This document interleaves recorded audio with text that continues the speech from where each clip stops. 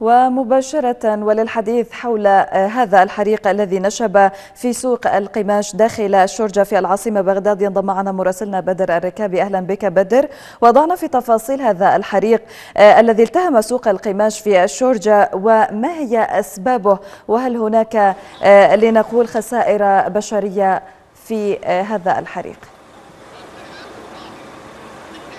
نعم زميلتي تحية لك وتحية لجميع السيدات والسادة المشاهدين. أتواجد الآن في منطقة شورجة بالقرب من البنك المركزي. حدث حريق في المخازن والمحلات التجارية المجاورة لبناية البنك المركزي هنا وسط العاصمة بغداد. الحريق بدأ تقريبا عند الساعة الواحدة ظهرا أو قبل ذلك بقليل ما تزان ألسلة النار مشتعلة لغاية الآن بسبب ضخامة الحريق في المخازن والمحلات التي تحتوي على الملابس وكذلك الأقمشة. فرق الدفاع المدني ما تزال متواصلة بعملية إخماد الحرائق رغم اتساعها.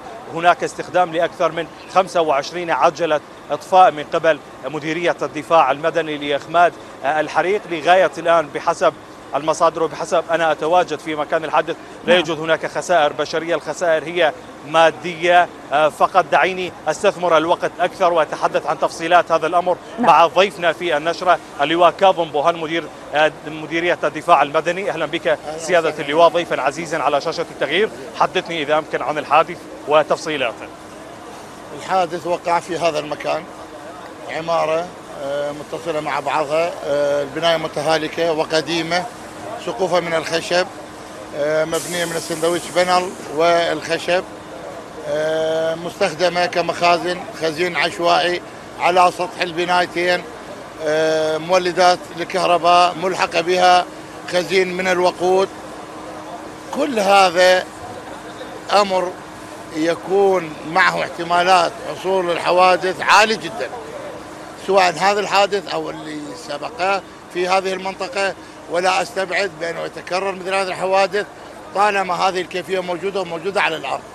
بالتالي لا يوجد هناك أي تطبيق لإجراءات السلامة والأمان وهذا ما دفع الحريق إلى اتساعه بهذا الشكل.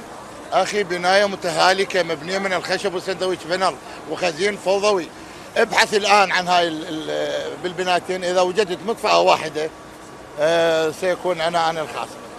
لا لا يوجد أي مقومات للسلامة والأمان. البناية بحد ذاتها لا تصلح لأن تكون خزين أو مخزن إطلاقا.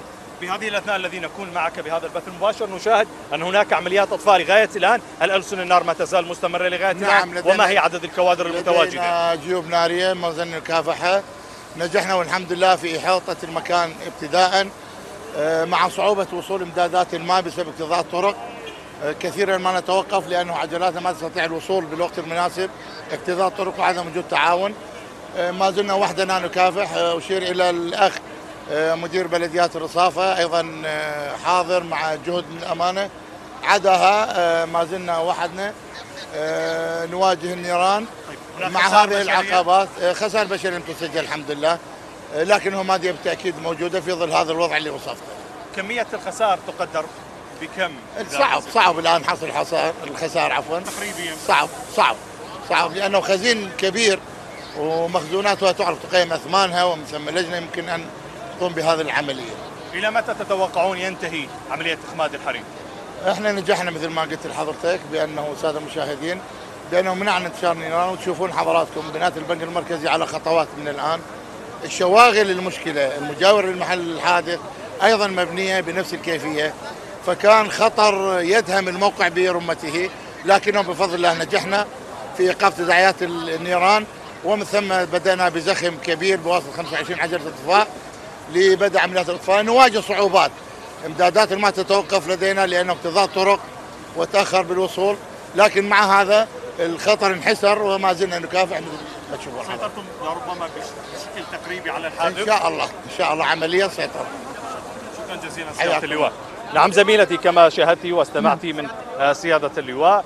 بأن الأمر الآن مسيطر عليه بعد استمرار الحريق لأكثر آه، من ساعتين واستخدام أكثر من 25 عجلة آه، إطفاء تحاول إخماد الجيوب النارية وألسنة النار آه، التي ما تزال مستمرة لغاية الآن يعني بين دقائق ودقائق أخرى نعم. نشاهد هناك نشوب حريق في أماكن متعددة ومتفرقة وما يزال كما تشاهدين من خلفي الجهد من قبل الدفاع المدني بالاستمرار بعملية إطفاء الحرائق. كان لدي لقاءات مع عدد من التجار هم امتنعوا عن الظهور بسبب نعم. ما يعانوه من الصدمة. كون الخسائر هي كبيرة جدا بالأموال التي خسروه نتيجة لتلف هذه البضائع. فنتحدث عن آلاف الدولارات لربما بسبب كمية الحريق الموجود في هذه المخازن والمحلات ونحن مستمرون في حين الانتهاء من عملية إطفاء الحرائق.